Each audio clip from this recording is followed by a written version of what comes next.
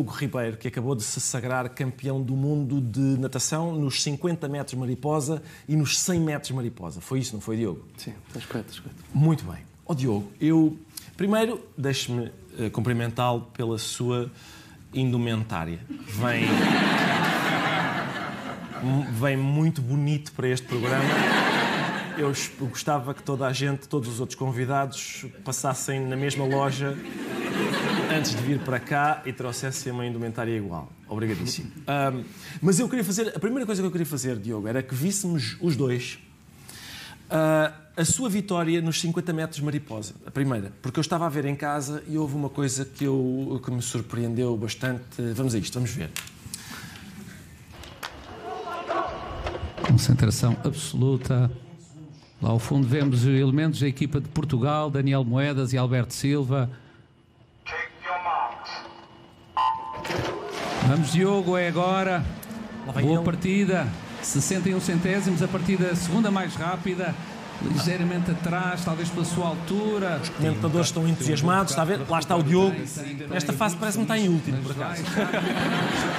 ali à esquerda. Muito bem mesmo. Vamos, Diogo, acreditamos. Vai ao pódio, Diogo vai ao pódio, vai vencer. Vai ao pódio, vai. Diogo! Diogo! É verdade, vai ao pódio.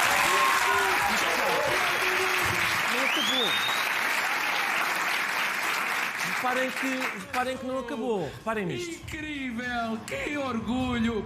Que felicidade! Toda a gente está histérica. Menos o Diogo. É ah, olha, fui eu. eu sim, sim. Oh, Portanto, que felicidade! Eu.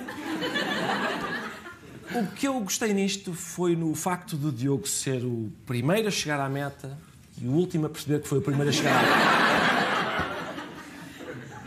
Esta calma, Diogo. O que é que. Não tem curiosidade de saber o resultado logo?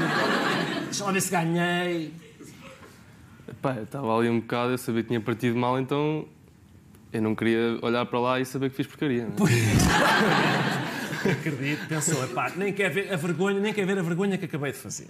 Exatamente. Pá, isso é incrível. Sim, senhora. Eu, sabe que eu, a primeira coisa que eu pensei quando, quando nós decidimos convidar o Diogo. Eu disse: vou ter comigo um, um nadador profissional, um, uh, um, campeão do mundo de natação, e por isso eu, eu vou aproveitar para satisfazer a, a, a, curiosidade que eu sempre tive. Diogo, enquanto campeão do mundo de natação, qual é a sua política pessoal em relação a fazer xixi na piscina? Eu acho que isso é, é obrigatório. É obrigatório.